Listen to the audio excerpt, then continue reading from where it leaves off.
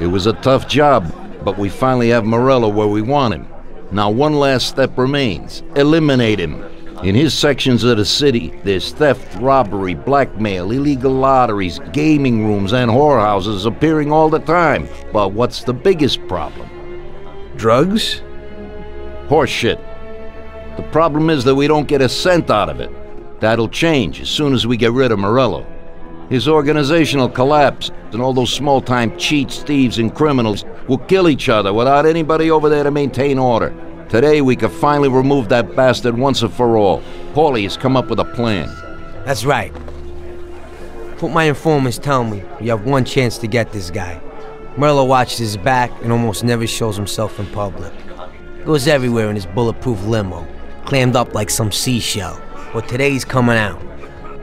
He's going to theater to do some socializing with the creme de la creme of Lost Heaven. And we'll be there to show him something too. Isn't this a bit risky? It's risky, but this is our only opportunity to waste him in public and show everyone our power. We'll do it like this. Wait in front of the building until the end of the show. People will start coming out, so there'll be a lot of confusion. With Morello trying to make his way out, his guerrillas won't have much of a chance to notice us before we hit him. Make sure you don't draw any attention to yourselves, so no shooting. Pull your weapons when you see him. I hope I still recognize him. Shouldn't be hard. Morello likes to wear his white suits. Not many people wear them these days. Each of you get a Thompson or Lupara from Vincenzo. Wait out in front of the theater on Central Island until Morello comes out. Then go to it. The performance ends at 9 o'clock, so make sure you're there on time. It should work out fine, so don't come back without his head. Okay, boss, let's get to it.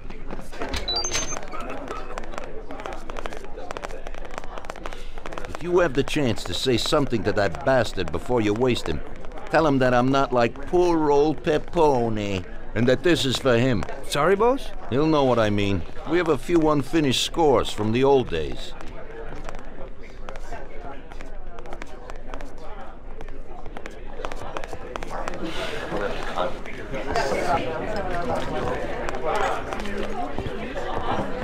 No, no, Tom, I got my hands full, huh? Sorry, Tom, but I'm really busy right now. We'll have a glass of something uh, later, after closing time.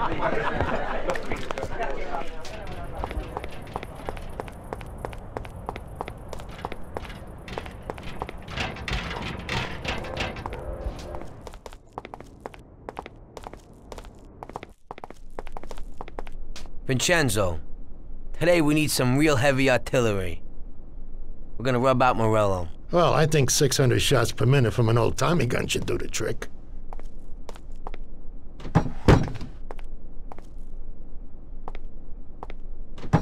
At the same time, we could stick to the ancient ways and use a more traditional Sicilian weapon for a job of this size.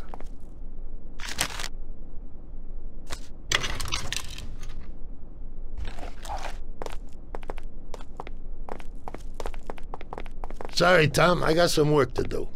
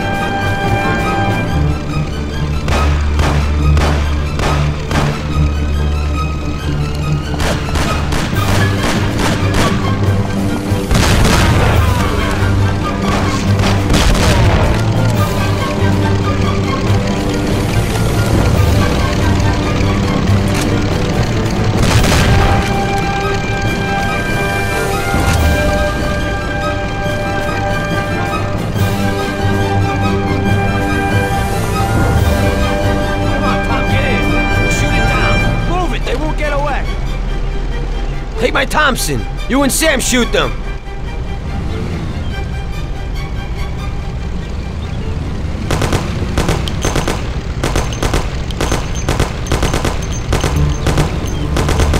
Come on, you heap of junk. Hold on.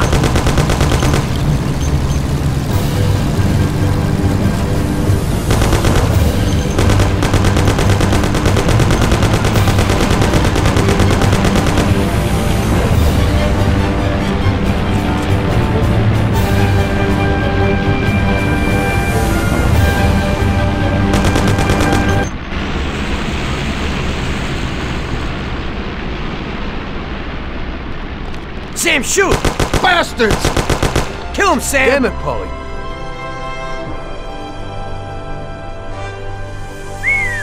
Wow. Yes! Yes! How did you fix the car? Better ask Sam.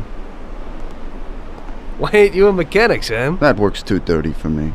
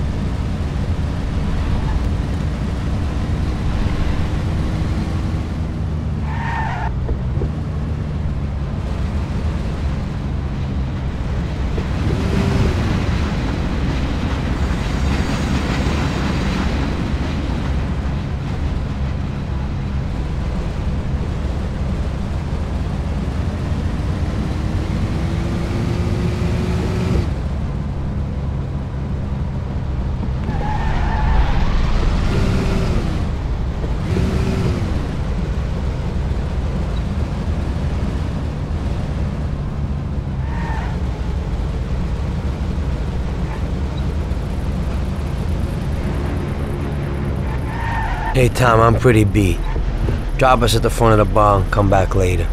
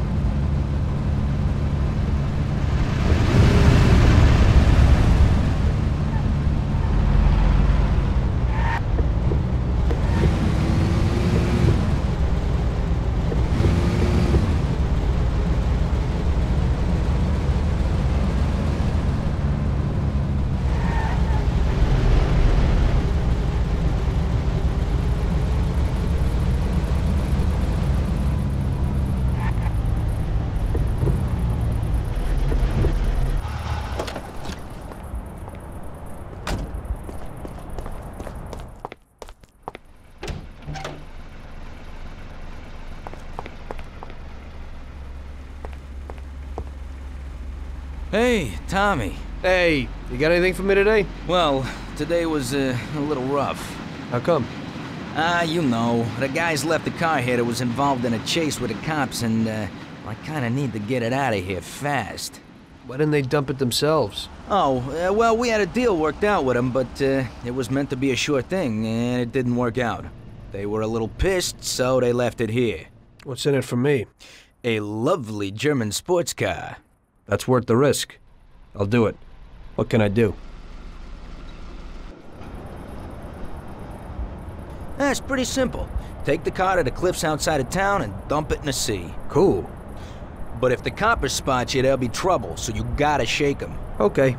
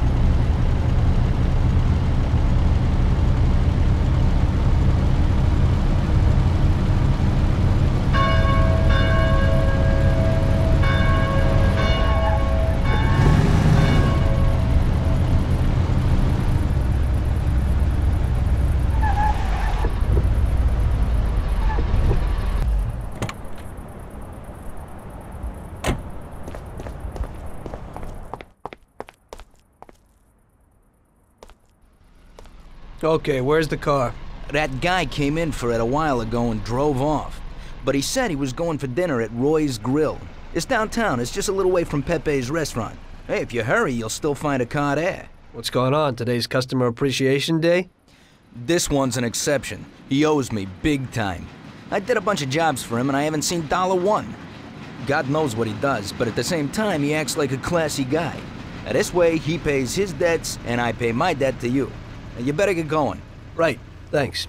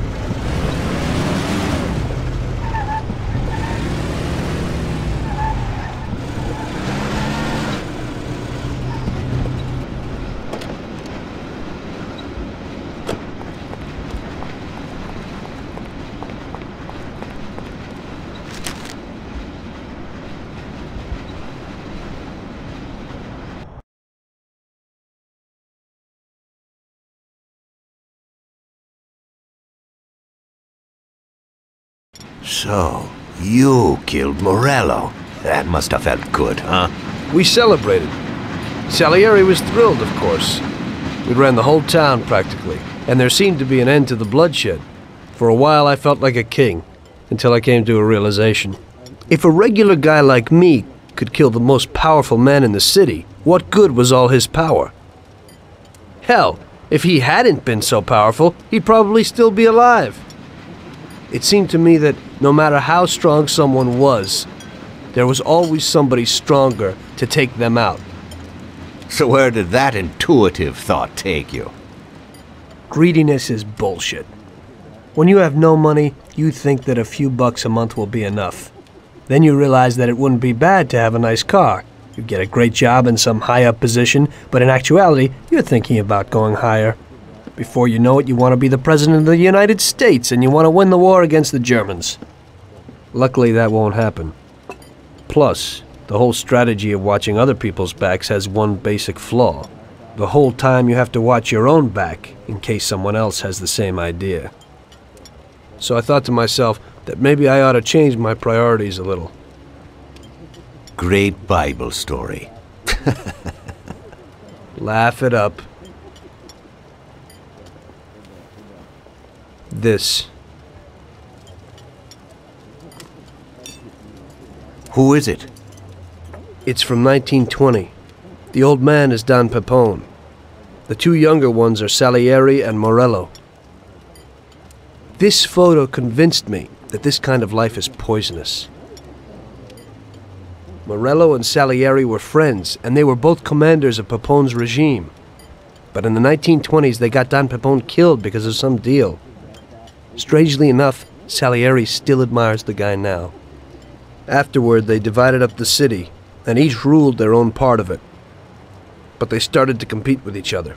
I ended up being Salieri's instrument of death to kill his best friend, to save him from looking Morello in the eye. It occurred to me that my friends and the people I loved were the same. Someday I'd turn to Paulie and be looking straight down the barrel of a gun. I couldn't be sure of anybody, above or below me. But you were risking your life every day. Being a sharpshooter for the Mafia ain't no bed of roses the way you tell it. It's different when you're living it. When you're full of energy and you're fighting for your life with someone who's like your brother. You're just two soldiers who know what needs to be done, and it all depends on your ability to survive. It's a war. The constant feeling that you can't even trust your best friend is terrible. You are alone, and death can come from anywhere. I'd lie awake at night wondering if the joke my best friend told me was really just a joke, or if I should get prepared for my own execution. A person needs someone he can trust.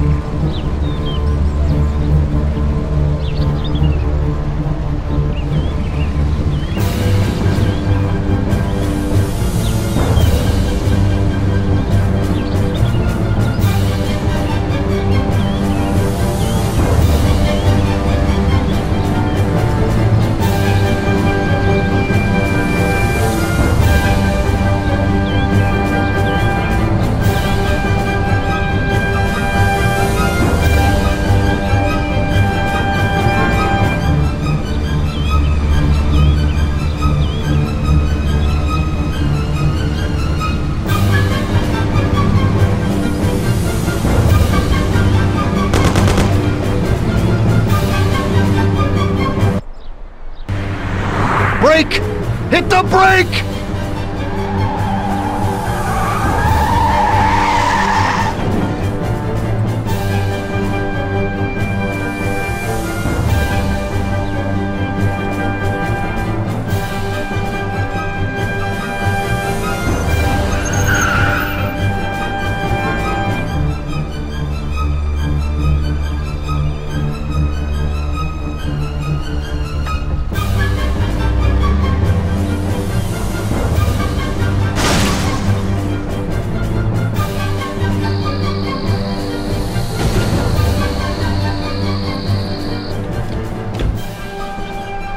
You think he's dead?